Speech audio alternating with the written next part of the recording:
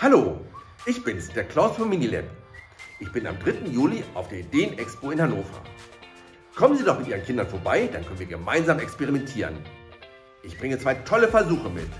Zum einen das Farbenrennen, wo wir schauen, welche Farben in einem schwarzen Filzstift stecken.